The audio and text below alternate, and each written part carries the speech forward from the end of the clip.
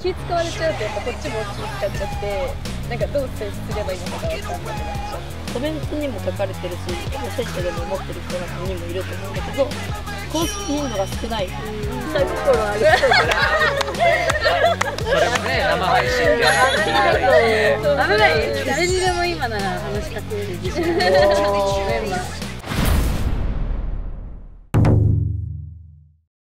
いやー4人集まりましたね。集まりましたね。マジで。本当にいつも二人だったから。2人だったりとか。忙しいからあんまり4人集まる機会がなくって。なんかめっちゃ嬉しいだから集まる時。不安だったのが私がマネージャーになるなった時に自分は芸人だから割と入りやすいかなとは思ったんだけどこの3人がスマイラーズに関わるってなった時に接し方とか分かんないかなとか思ってたんですけど今のところはどうなんだろうというのを聞きたい。どうだいやでもなんかすごい気さくに話しかけてくださるから全然やりやすでも、まあ、欲を言うならばもっと全然気使わないでうん。来てほしいっていうのはあります、はいはい。気使われちゃうとやっぱこっちも気使っちゃってなんかどう接すればいいのかが分かんなくなっちゃう気使われてるなって思うんです、二人とも。大でも体。場数私結構踏んでるんで。バカず踏んでる。あの芸人さんの関わり方がちょっと分かってきちゃって。おで私めっちゃいじりたいタイプなんでなんか楽しいです。なんか誰にでも今なら話しかけれる自信メンバー。青さんとかもでもやっと慣れてきたところであってでもなんかマネージャーの名前呼び方？統一させた方がいいのかなって。マネージャーの呼び方？なんか私今日なんか俊平さんに「あおちゃん」って言われて「あちゃんじゃないさんだ」みたいな感じで言われててもそれそれも距離かなって思って。うん。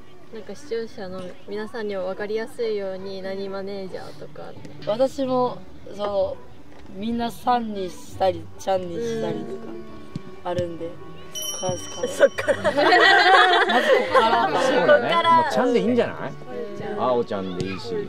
あおちゃん立沼ちゃん。でいいし沼ちゃん沼ちゃんって言沼ってるちゃん。沼ちゃんか沼ちまあゃんそれぞれあっていいけど3はちょっとやだよね。やっぱサードシーズンになってからスマイラーズの方針が変わってきたというかチャンネル登録者数が10万人がリーグ戦で優勝するかどっちかを条件達成しないと存続できない。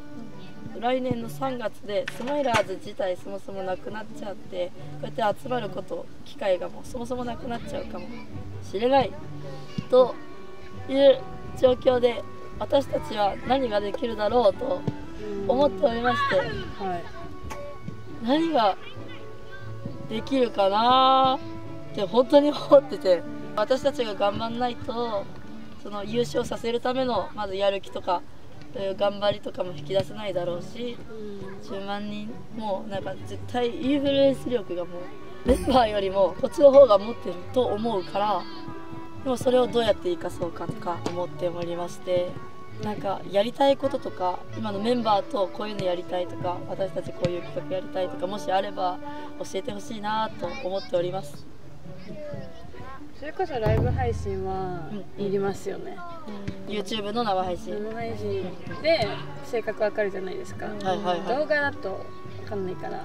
そうねそれはやりたいですね。あー生配信めちゃくちゃわかります、うん。サードシーズン始まってから何本か出てそのコメントにも書かれてるし多分選手でも思ってる人が何人もいると思うんだけど更新頻度が少ないってなった時にそう更新頻度が少ないけど集まれる時間も限られてるからじゃあどうしようかってなった時に本当に生配信いいと思ってて役割分担決めて月曜日担当が誰々とかってこうやって決めてって忙しかったら本当に今日は2人しかいないとかっていう回があってもいいと思うから生配信はありだなと私も思ったことがあって。ってなった時に全然参加してくださる感じで？大丈夫？やりましょう。うわおお嬉しい。ちちなみに選手は誰でも大丈夫？この人とやりやすいみたいな。NG だったらねこっちだって。ねその楽しいや皆さんも見たいんでこの人とやりたいでもいいしあポジティブあにそうすれば盛り上がるから。やりやすい。うんやりやすい人いれば。えー誰でもいいよ。私はあ誰でもいい私は本当にさっき言ったみたいにもう全員と絡める自信があるんで。もういいね まあ一回ねやってみてあこいつ無理だってなるかもしれないしね。あそう。あー確かにやっぱ岸無理だってなるかもしれないやってみなきゃわかんさんちょっな。いからねと難しいかなんか何話せばいいかかん分かんないんだ。ないななめさんとかがいいかもしれない。おーそう。さっきからナメさんずっと押してる。喋りかけ優しい優しい。怖くない？怖くなくなりました。あ怖くない本当怖かった。はい。圧がね。圧があって。意外と喋りやすい。うんわざと舌打ちとかしてくる時ある。怖いね。すごいや怖いですよって言える人めちゃくちゃ。立沼ちゃんも？えー、でもなんかサードシーズン入ってから、なんかチャールトンさんがめっちゃ話しかけてくれて。急に？うん急になんかすごい話しかけてくれて、でも下心ありそうあら それもね生配信で聞いたらいいしね。危ない。危ないと思う。そこは。分かるんだ。そうでもなんかいじったりしてくれるから話しやすさはありますそういじられたい。いじられた方がやりやすいかもしれないです。ああそう。こうやってなんかこうこうやられるやられるより可愛いされるよりはこうこう来てほしい。それ言っちゃうと変にやってくるやついるから気をつけない 意味が分かってなくて。無理にやられるのはあれうん庄司とか分かってなさそうだから。偏見じゃないですか多分そうそういうところあったかもしれないですね。あのセカンドシーズンまではうん。下心あるって思われないようにそうだね。変にね気使ってたかもしれないね。考えすぎないで。確かに。ね。えじゃあ本当に選手がこの練習終わった後とかご飯みんなで行こうよって言ったら全然いいんだそれも。あ全然いけます。行きたいです。普段から仲深ませそ深っちのスタンスでいてくださってるのね。それ多分みんな気使ってると思うそこあ本当に多分知らないんだよそういうのはうんあおちゃんも？全然いいの？そちょっとマネージャー通さないと。こはあるんだね。そうかアイドルの方だもんね。そうだね。一応アイドル。じゃあご飯食べたい時はマネージャーに聞く。聞いてからオッケー出たらってことね。オッケー出たらいけます。オッケーなのね種馬ちゃんは。はいあよかったよかっえ私にも一応。た あそうか絶対大丈夫でしょ絶対大丈夫かなとってもらわないと。一応ここの並びなんで お母ちゃんもお母ちゃんもオッケー。あはいありがとうございまあよかったよかっすなんかえすいません。ちなみに NG って他に何があったりしますか？たあそうそれをね芸人は何だっていいっていうのがあるんだけど。例えばなんだけどそのデート企画とか楽しそうだなとは思ってしまって、一視聴者として見た時にデートも見たいしそのデートに向けてなんか頑張ってるところも見たいしみたいな。夫面白そう。で多分あの変なデートプラン考えてくると思う。その なんかもちろん YouTube だからそういうのでデートしましょうってなった時にどうなんだろう。マネージャー通せばいけるんですか？ちょっと厳しいかも。厳しい。まあそれはね 職業柄あるからね。なんかそれのうん様子を見てなんかズベズベ言うことはできるかもしれない。ああなるほど。デートしてることを見てね。実況みたいな。あーいいじゃんこれはダメ減点方式でとかあーいいね。はできる。面白そう。モニタリングの方が私はうんできる。面白そう。例えばその私服とかチェックするとかであこの私服良くないわとかっていうな。うん。なんかちょっとそのマネージャーの意見を引き出すなんかそういうモテ企画みたいな、うん。そういいね。そういうのの方が向いてるのかもしれない、もしかしたら面白いかも、確かに。何がやりたいかなと。でもなんかスマイラーズのメンバー多いから覚えるのに結構必死だったんですよ私。だからその人をフューチャーさせたなんか Vlog っていうかなんていうん。だろう覚えやすいものがあったらいいなって思って。視聴者的にも。なんか俊平さんとか悪いじゃないですか。悪い。よあの人。悪いえ悪い顔するんですよ。どう悪い来てた今日も。うんなんかみたいな。え悪いこれ顔なんか悪いこと言ってみたいな顔をよくするんでそういうところとか悪者と だったらあれかもしれないけどうん撮りたい。したい。からもしかしたらあーおちゃんカメラっていうのがあってもいいのかもしれないね。うん。あーおちゃんが持ってくれて密着したいとこにみ。ねそうやって悪い顔をフん。ューチャーするとかね。はいはいはい。あいやめちゃくちゃいいと良さそうですね。何か企画を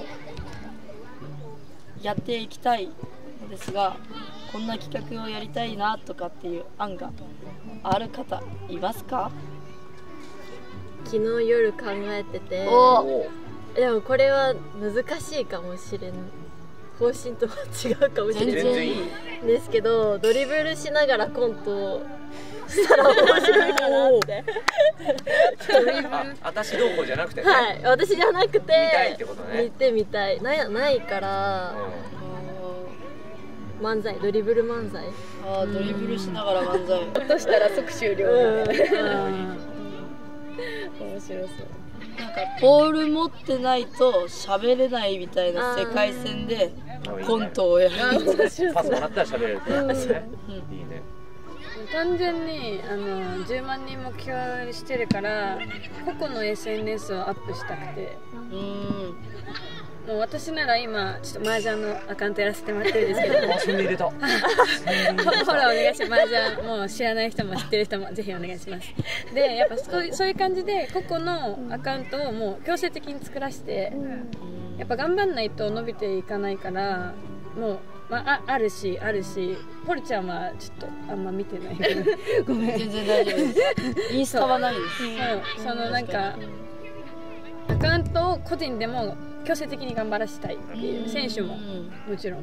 頑張る姿は大事かなって思うから私を筆頭にちょっと数字はまだね正直全くついてないんですけどみんなでやっていけたらいいかなとなるほどはははいごめんなさいごめんなさいで思いますここの活動意識意識強化。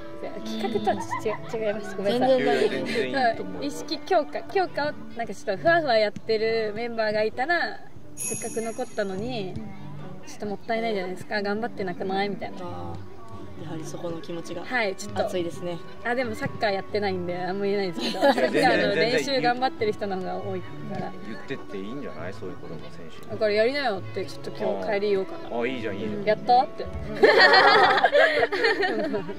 濃いファンの方をつけるにはやっぱなんかそれぞれのメンバーさっきあおちゃんも言ってたけどそれぞれのメンバーをちゃんと覚えてもらうことも大事だと思うからなんかある高校のサッカー部の TikTok の動画で、うんなんか例えばその有名な曲に合わせて替え歌でそのメンバーの個性とか特徴とかを歌にしていくみたいなのがあるんですよ。だその悪い顔のうんとか俊平ね。俊平とか、なんか筋足足が太い誰々みたいなのとかそういうなんか覚えやすい特徴とかをつけて歌にし替え歌とかで乗っけたらやっぱ覚えてもらいやすいんじゃないかなとなるほど。は思いました。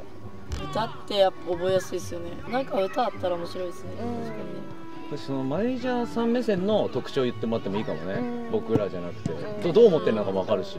こだから俊平が嫌な顔してるなんて思わなかったの わ悪い顔か。知らなかった。知らなかった。だからういやいやいや嘘。みみんながしね思う。イージーだったらどう思ってるのかを知りたいし。風沼ちゃんだからイージーだったらなんなんて星つけるひもパンいいし。いやいや。今日じゃん。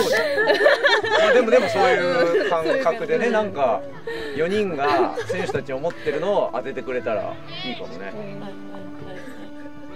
確かに。合宿はもうできないんですかね。合宿はやっぱなんかいろんなことができそうだから。はいそれこそ合宿だったら勝ったチームがマネージャーの用意したご飯を食べれるとか。作っちゃうよ。作っちゃそしたら作るところも絵になるしなんかそうそれに向けて頑張るとかも面白いしでネタもやりたいしみんなでみんなでやりたいんですよ。うマネージャーも？マネージャーのネタも、うん、やりたいです。まあ誰か別にメンバーと組むとかもいいですけどそう。ユニット見たいと思います。グッズとかもありますよね。あーなんかグッズだそうだ。T シャツはあるけどもうちょいなんか応援しやすいグッズって何がありますか？なんか背番号が書いてるユニフォームのアクキーみたいな。あー。ーさアイドル。すがだなアイドル。アイドル一生アクキーとかあるんで。えー。実写もいいと思うけど人の顔がない。人の顔がない。ユニフォームとかの方がつけやすいし。うん。でも人も顔のステッカーとかでもイラストとかでもうん。可愛い。確かにイラストかわい。いイラスト。なうん。でもらえるあでも4人に書いてもらってね。めっちゃいいじゃん。絵心。4人で。4人で。分担で分担それでもいい。クオリティすっごい。バラバラ。あいいじゃんいいじゃん誰作誰作か分かんなくしてもいいし。それでいいなら。もう全然。そう。携帯とかに貼れるやつがマネージャーさんを試す企画みたいなのも面白そう。でサッカーの知識のテストみたいな。本当に自分の首を絞めることになるんですけど。全然あ全然いいと思う。じゃああおちゃん3点取ったことを何て言いますか？えートリプルボーナス。ああいいね。トリプルボーナス。とか。今後そうしてもいいしねサッカーの知識を深めましょうみたいな、確かにね深めたいっていうのすごい大事なんでそれをスマイラーズ内で行うのもありかなみたいな。サッカーに関わっていく。サッカー系のお題の大喜利とかも本当はやらせたいです。なんあかあ面白そうだね。めっちゃ聞きたいです。やってましたね。オーディションで。面白かったやらせたいです大喜利したい。